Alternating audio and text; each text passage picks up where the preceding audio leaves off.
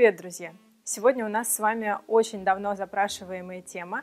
Я хочу рассказать про типичные ошибки в стиле для женщин элегантного возраста, которые очень сильно старят и добавляют тот самый возраст.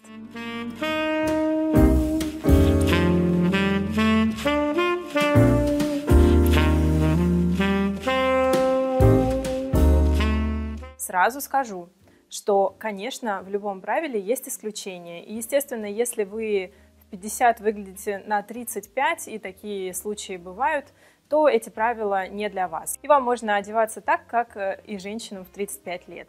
Если же все-таки вы уже видите изменения возрастные в фигуре, в лице, и они уже становятся достаточно активными, то в таком случае я рекомендую, настоятельно рекомендую не совершать тех ошибок, о которых сейчас пойдет речь. И последнее. Я понимаю, что если ваш стиль был сложен в течение очень длительного времени, то это такая некая уже получается стилистическая парадигма, которую очень сложно э, двигать в своей голове, поэтому, возможно, те пункты, о которых я буду говорить, вызовут у вас первую реакцию отторжения или, может быть, даже агрессию, вам покажется, что я не права, потому что я как будто бы вас в чем-то уличаю или обличаю какие-то ваши ошибки.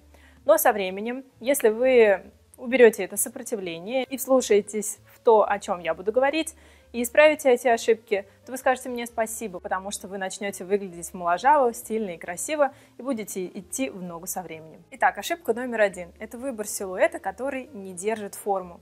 Что я имею в виду? Это когда вы надеваете а, бесформенную одежду и сверху, и снизу. Что к этому можно отнести? Например, бесформенные трикотажные джемперы или сюда же футболки из рыхлого такого полупрозрачного хлопка, который очень быстро мнется и не держит форму. И самая большая ошибка, если еще и снизу у вас такая же бесформенная одежда, это могут быть какие-то брюки из дешевой ткани или юбка из трикотажа, тогда получается, что ваш силуэт, ваша фигура как будто бы начинает стекать постепенно вниз, и визуально, поверьте мне, это очень сильно читается.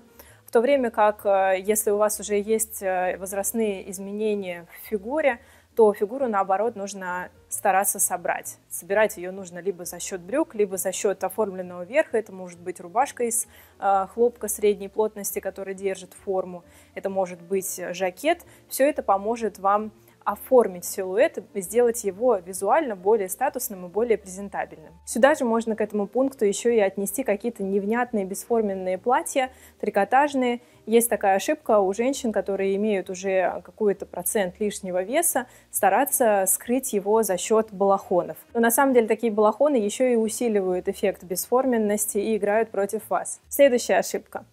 Это скучные, несовременные комплекты, и по секрету скажу, что они на самом деле умудряются старить даже молодых девушек. То есть если девушка там в районе 30 лет, 30-35, но при этом она носит скучные старомодные там а офисные комплекты, то таким образом она добавляет себе возраста, и иногда даже очень существенно добавляет возраста. Поэтому уж тем более такую ошибку не нужно совершать женщинам, которые постарше, и стараться выбирать все-таки современные силуэты. Естественно, вам нужно выбирать их, все равно отталкиваясь именно от своего типа фигуры, а фигуры у нас у всех разные, из вот этого всего многообразия выбирать то, что будет подходить лично вам. Но сразу скажу, что обязательно нужно вносить какие-то современные нотки в свои комплекты. То есть, например, вам, конечно, не нужно выбирать какие-то агли, кроссовки и сумасшедшие вещи, которые может носить девушка в 25 лет. Но в том, что касается выбора силуэта брюк, силуэта платья и его длины, и юбки или жакета, то, безусловно, здесь нужно выбирать а, соответствие формы текущим тенденциям. Тогда именно эти современные нотки будут способны омолодить ваш имидж в целом. Следующая ошибка у нас касается фактуры. И здесь я буду говорить про гипюр. Сюда же можно еще отнести сеточку. Э, я заметила, что женщины определенного возраста по какой-то причине очень любят вот этот вот гипюр. И в том, что касается выбора фактур, это, наверное, самая грандиозная ошибка. Бывают, конечно, вещи, у которых есть кружевная отделка, и они выглядят сексуально, и они выглядят деликатно, и их можно внедрить в свой гардероб.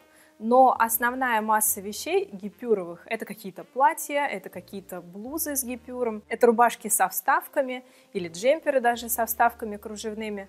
Вот это все выглядит просто жутко. Мало того, что и на молодых девушках в большинстве случаев это выглядит жутко, ну а на женщинах элегантного возраста эти вещи смотрятся действительно плохо. Я крайне не рекомендую их использовать в своем гардеробе. И, например, если у вас уже есть такие вещи, просмотрите их внимательно, насколько они современны, приложите их к себе, сравните их, например, с такой фактурой, как тонкая шерсть э, или, например, шелк. Поговорим об этом чуть позже. И, возможно, вы тоже обратите внимание, что это далеко не лучший выбор для вас. Следующая ошибка – это спортивные сандалии, особенно если они надеваются с полуспортивными штанами в стиле карго. Я знаю, что в этом и в предыдущем сезоне карго а, были в моде и остаются еще пока в моде, но опять-таки то, что хорошо а, молодой девушке, то не очень хорошо смотрится на женщинах постарше потому что вот такие вот э, спортивные и причем не презентабельные по своему виду вещи, они тоже делают силуэт, э, и вообще даже не силуэт, а ваш имидж делают бесформенным, неоформленным, не стильным и играют против вас. Если вам хочется носить спортивные вещи, то выбирайте для себя минималистичные варианты. Следующая ошибка. Думаю, что за нее, за то, что я сейчас про это буду говорить, в меня полетят тонны помидоров – и все-таки я про это скажу. Ошибка, которая встречается чаще всех остальных, это использование джинсов круглый год. Господи, вот, наверное, никакую вещь так сильно не любят э, люди планеты и, и наши женщины, как джинсы. Но опять-таки то, что хорошо и мило смотрится на молодой девушке, это джинсики там высокой посадки с футболочкой, и больше ей ничего не надо, она распустит свою копну волос а, и со своей благоухающей кожей в белых кедах пойдет по улице и будет смотреться классно. А, вот такой комплект, вот такая формула уже далеко не так хорошо работает на женщинах элегантного возраста.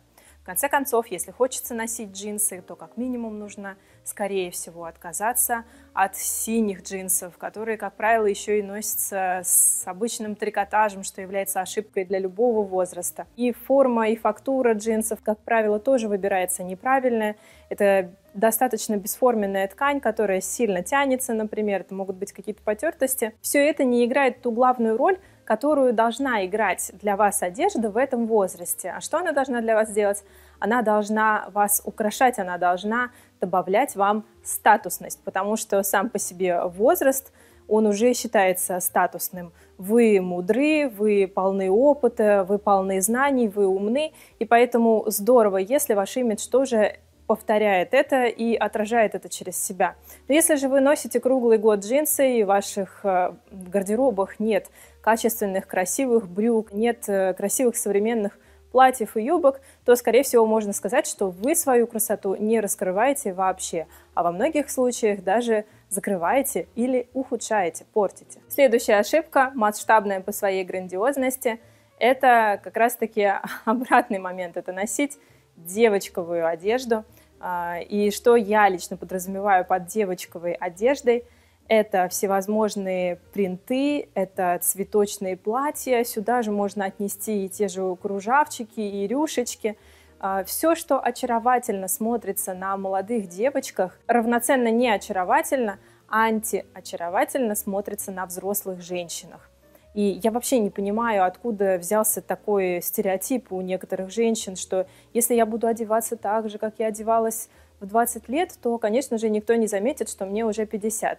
На самом деле получается так, что вы еще как бы усиливаете а, мало того, что свой возраст, но я вообще совершенно не про эйджизм, я про то, что вы его преподносите в негативном свете. То есть такое ощущение, что вы не принимаете свой возраст, и на самом деле, конечно, бы с удовольствием вернулись в свои 25, и не нужен вам ваш опыт, и вы всеми силами пытаетесь себя и окружающих обмануть, хотя на самом деле обмануть никого, конечно же, не получается самое лучшее решение – это выбирать элегантные, классные, современные вещи в соответствии со своим возрастом и не пытаться притянуть за уши то, что притянуть уже невозможно. Следующая ошибка, которая, скорее всего, менее очевидна для вас, и это выбор не своего цвета, не своих цветов в портретной зоне. Почему именно в портретной зоне? Потому что фактически то, что мы носим внизу, находится очень далеко от нашего лица и практически никак не влияет на краски и восприятие нашего лица в целом. В то время как те цвета, которые мы носим непосредственно возле лица, безусловно, влияют и на восприятие овала лица, то есть то, как будет выглядеть и ваш подбородок, и вообще оформленность и скульптурность лица. А, также это будет влиять на то, насколько заметны какие-то мелкие недостатки кожи, те же морщинки, или, например, э, извините, девочки, назову вещь своими именами, если есть второй подбородок, это тоже очень сильно влияет, когда вы выбираете не свой цвет, он может акцентироваться. Я думаю, что никому это совершенно точно не нужно. А, и сюда же можно отнести еще и такой фактор, что когда вы выбираете не свои цвета, и в данном случае это не зависит от возраста, в некоторых оттенках вы можете выглядеть болезненно, в других же оттенках вы будете выглядеть свежо и как раз-таки моложаво. Что делать в таком случае? Безусловно, разбираться со своим цветотипом, определять его и выбирать для себя те оттенки, ту глубину, ту температуру и уровень приглушенности, который будет выгоден именно для вас. Мы здесь все разные, здесь нельзя дать какой-то вообще универсальный совет, а, за исключением тех случаев, когда вы носите исключительно ахроматические, там, какие-то классические цвета в своем гардеробе и игнорируете свой цветотип. В остальных случаях нужно разбираться, идти напрямую к профессионалу, определять свой цветотип для того, чтобы не делать настолько грубую ошибку. Потому что если в 20-25 там, 30-35 лет, э, не, не столь важно, какие цвета вы носите у лица, хотя тоже важно, то уже в возрасте около 50 и старше это становится экстремально важным. Следующая ошибка касается неправильного выбора верхов. Чаще всего сюда можно отнести бесформенные свитеры или джемперы, у которых, например, эм, рукава такие стекающие вниз, а, или очень крупная вязка, или ажурная вязка. В общем, тоже все то, что добавляет вам объема, делает недостаточно оформленным силуэт или, например, не соответствует вашему масштабу, поэтому увеличивает верхнюю часть тела. Это тоже достаточно часто встречаемая ошибка, которую лучше не совершать, потому что, повторюсь, все, что мы носим в портретной зоне, является очень важным. И в первую очередь именно по вот этой зоне судят в целом о восприятии вашего силуэта и вашего имиджа. Следующая ошибка — это китайский декор. Ну, я бы могла просто сказать декор, но я назвала его именно китайским, потому что не весь декор можно считать э, ошибочным, но при слове «китайский» у нас сразу приходят определенные ассоциации, да, это, например, какие-нибудь стразики, э, какие-то нашивки или э, такие, как прорезиненные принты. Все это я не рекомендую носить, в принципе, также ни в одном возрасте – но особенно это плохо смотрится на женщинах элегантного возраста, потому что это смотрится несуразно, потому что это смотрится не в соответствии, опять-таки, а, с тем статусом, в котором вы уже пребываете, и способно разрушить в целом восприятие вашего имиджа. Поэтому я крайне не рекомендую пользоваться такими вещами, иметь их в своем гардеробе. Для вас самый лучший выход – это выбирать для себя лаконичные силуэты, более благородные ткани, понятные цвета и хорошо оформленные вещи. Это то, что будет для вас работать. Но в том, что касается декора вещей, как правило, это работает против вас. Следующая ошибка за которую тоже, наверное, многие меня будут осуждать. И все же я про нее скажу это использование русского платка. Это такой вот павлопосадский платок в цветочек, который зимой женщины очень часто носят, например, с спортивным пуховиком. Почему спортивным? Потому что пуховик, в принципе, сам по себе достаточно спортивная вещь. А еще часто даже в этот комплект идут джинсы те самые с сапогами или юбка с сапогами. И это как раз то, что способно добавить вам плюс 20 лет. Я думаю, что вряд ли кто-то из вас этого действительно хотел бы. Когда вы носите платки и шарфы, выбирайте для себя классические однотонные варианты в соответствии со своим цветотипом. Например, такие шарфы, вот для примера, у Акне, кашемировые, большие такие палантины, у которых нет никакой вязки. А, это просто классический платок, который совершенно точно не испортит никого, и можно носить его в любом возрасте. Это будет смотреться красиво и стильно. Но платки а-ля посадские с цветочками. Это почти то же самое, что носить на себе а, девочковые вещи с кружавчиками, с цветочечками и так далее. Все это добавляет вам возраст. Следующая ошибка. Это старомодная бижутерия, всевозможные бусики и, например, какие-то очень крупные перстни. Иногда это смотрится классно. В том случае, если у вас абсолютно проработанный имидж, особенно если он минималистичный, и это получается такая красивая база, как рамка для картины, и дальше вы уже можете внести свои акценты, например, какие-нибудь фамильные перстни, кольца, и тогда это будет смотреться уместно, это будет смотреться красиво. Если же у вас имидж не продуманный, не проработанный, если вы в нем не уверены, если в нем недостаточно современные силуэты и фасоны, то в таком случае лучше вообще не использовать бижутерию или украшения, или золотые украшения в том числе, чем использовать вот такие вот э, старомодные варианты. И здесь в данном случае эта ошибка работает вне зависимости от возраста. Следующая ошибка – это юбки солнца. Это тоже такой силуэт, который чисто ассоциативно напоминает нам о молодых девушках, о девочках, о девочках даже там школьного или начально-школьного возраста. Да, это такая летящая юбочка, и летом вот такая девочка прогуливается, это может быть юбочка в цветок. В случае с женщинами взрослыми чаще всего такой силуэт не работает. Ну, только там до определенного возраста, может быть, максимум, мне кажется, лет до 40. После этого это уже смотрится чересчур. То есть это не добавляет вам женственности. Я не понимаю, откуда тоже взялся вот этот стереотип, что вот именно вот такие вот э, юбочки, кружавчики и цветы, что это добавляет женственности.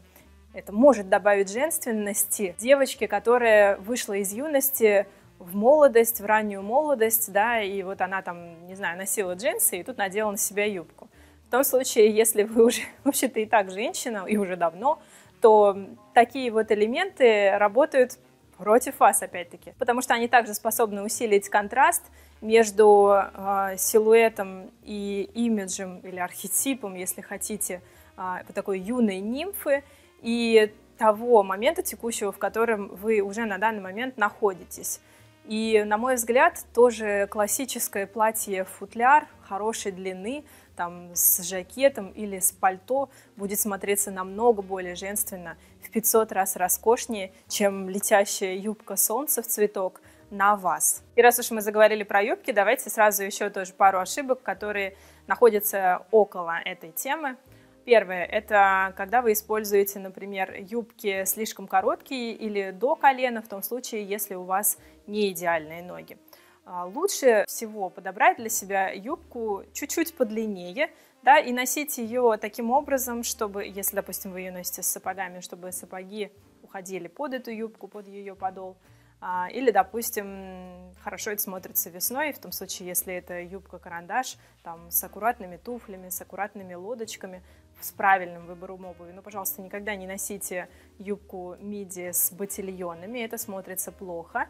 И также не носите таким образом, чтобы между подолом юбки окончанием а, и окончанием ваших сапог было расстояние. Особенно, когда там еще какие-то колготки, которые не подходят вам по тону.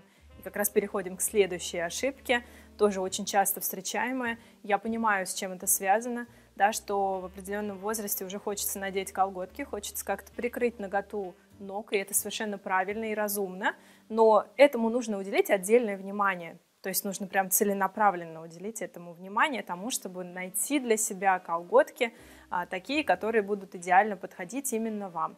Первое, это должны быть колготки матовые, то есть никакого блеска. Это вообще смотрится очень плохо в любом возрасте, но особенно в элегантном возрасте. А, и плюс это не должно быть эффект загара. И, конечно же, колготки должны максимально соответствовать тону именно вашей кожи. Кожа у всех разная, поэтому нужно отправляться в магазин и тестировать там на тех примерах, на тех тестерах, которые вам дадут, например, в магазине Wolford. Это, конечно, дорогая история, но она стоит того когда вам прикладывают э, разные оттенки, и вы можете уже выбрать что-то персонально для себя.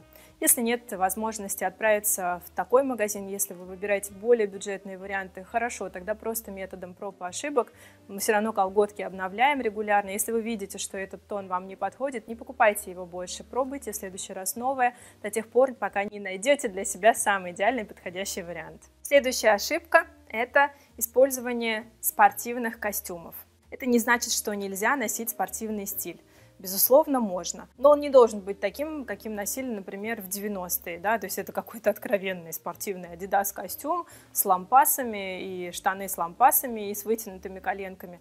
Это история, которая еще более-менее можно ее оправдать там до 30 лет, потому что можно сказать, что это элемент стиля там, девушки молодой. Но в том случае, если вы уже не относитесь к этой категории, то тогда спортивный стиль вам необходимо выбирать минималистичный и также еще и следить за тем, чтобы э, одежда спортивная повторяла силуэт вашей фигуры. Повторюсь, когда у нас стекают плечи, особенно если у вас небольшой рост, а, и тут еще и достаточно объемная фактура, и вообще а, у спортивных вещей объемный покрой, как правило, то это может добавить вам плюс 20-30 килограмм и плюс 20 лет. А, если вы выбираете спортивный стиль, выбирайте минималистичные комплекты, силуэты, а, такие, которые будут соответствовать вашей фигуре, не будут добавлять вам слишком огромного какого-то объема, и тогда спортивный стиль носить можно. Еще один пункт, э, коротко прям на нем остановимся, это кислотные цвета, и сюда же я еще отнесу принтованную одежду. Когда ваша одежда изобилует принтами, особенно если вы их выбираете не в соответствии с геометрией вашего лица, с вашим силуэтом, с вашими масштабами, то это также работает против вас. Лучше всего для вас создать для себя базу, в которой не будет вообще никакого принта, пусть это будет однотонная качественная одежда, которая будет подходить вам по форме и по цвету. Для вас это будет самый идеальный вариант, и, в общем-то, это та рекомендация, которая работает для любой женщины любого возраста – и потом уже туда вы можете добавить какие-то единичные вкрапления принтованных вещей. Но не нужно пытаться разнообразить свой гардероб за счет вот таких вот элементов а, активного декора, принтов или каких-то кислотных цветов. Оставим все это для подростков. И последний пункт, и но несмотря на то, что он последний, он один из самых важных. И я в этом пункте объединила сразу несколько направлений. Первое, самое главное – это современная стрижка. И часто сюда еще можно отнести длину ваших волос. Я уже как-то снимала видео про то, почему нельзя носить длинные волосы, и говорила, что, за что меня многие, кстати, осудили, что чем старше женщина, тем короче ее волосы. Конечно, в этом правиле также есть исключения, безусловно. А, например, когда у вас шикарное качество волос, и повторюсь, если вы в 50 выглядите на 30, ну тогда это видео, в принципе, вообще не для вас, к вам не имеет никакого отношения. Если же это не про вас, если у вас уже не такие густые волосы, какими они были когда-то, то тогда лучше оформить их в красивую, именно современную стрижку. Пусть она будет средней длины, или даже это будут короткие волосы но это добавит вам динамики, это добавит в целом имиджу моложавости, современности. Посмотрите, например, на Ирину Хакамаду, почему-то она себе не отращивает косы до пояса, носит современные силуэты, при этом выглядит действительно классно и общается с молодой аудиторией, и это работает на ее имидж, а не против нее. Чаще всего вот эти длинные волосы смотрятся несуразно, в общем-то, уже после 30, как правило. А, поэтому, если вам хочется выглядеть не просто женственно, то есть какое-то с потолка взятое понятие, а если вам действительно хочется выглядеть круто, классно, то тогда идите к хорошему стилисту, идите к хорошему парикмахеру, подбирайте для себя современную стрижку, и не надо цепляться за вот эту никому не нужную длину волос. И сюда же, в этот пункт, мы отнесем активный макияж и длинные или нарощенные ногти. Это, в общем-то, то, что плохо работает тоже в любом возрасте, но особенно в возрасте элегантном, потому что активный чрезмерный макияж способен усилить э, какие-то возрастные изменения кожи и акцентировать их, и многие про это знают. Есть даже такое понятие у профессиональных визажистов. Макияж, который делается именно с определенного возраста, там есть определенные свои техники. Вообще займитесь этим вопросом, если вы, например, не в теме, если вы не знаете. И подберите для себя макияж такой, который будет соответствовать э, тому состоянию, в котором вы находитесь. Это будет способно вас э, освежить, омолодить и будет работать на вас, а не против вас. То же самое касается ногтей. По-моему, нет ничего лучше просто ухоженных красивых рук с аккуратными ногтями, покрытыми прозрачным лаком или вообще без лака это намного ценнее и намного статуснее и презентабельнее смотрится, чем, например, если вы будете наращивать какие-то несуразные ногти, красить их разными цветами. А, по-моему, это не самая лучшая идея, не самая лучшая история. Ну что ж, такое видео у нас получилось сегодня. В нем очень большое количество пунктов, и кто-то может задаться вопросом и написать мне, «А что же вообще нам теперь носить? Вы вот как будто бы все нам запретили. На самом деле это неправда. Если отвлечься от тех э, пунктиков, про которые я сегодня говорила, а, вы сможете открыть для себя дивный новый мир э, простых, лаконичных, минималистичных вещей, про которые я, в принципе, рассказываю и показываю на себе, в том числе каждом своем видео. И те вещи, которые способны украсить вас в любом возрасте, и особенно хорошо они будут смотреться, повторюсь, на женщинах элегантного возраста. И второе, о чем, наверное, я должна сказать, и еще раз акцентировать на этом внимание, что а, в моем ролике абсолютно нет никакого эйджизма, то есть я хорошо отношусь, одинаково хорошо и уважительно отношусь к женщинам разного возраста и вообще сужу о людях не по их возрасту, а по их внутреннему наполнению и состоянию. Если вы умны, если вы красивы внутренне, то в таком случае вам нужно и внешне это правильно отражать. Тогда и люди окружающие будут воспринимать вас совершенно правильно. Если вам понравилось это видео, то ставьте ему лайки, подписывайтесь на мой канал и до новых встреч, друзья! В следующем видео я обязательно расскажу вам, если у вас будет такой запрос, о том, на чем же именно должен строиться э, имидж женщины элегантного возраста.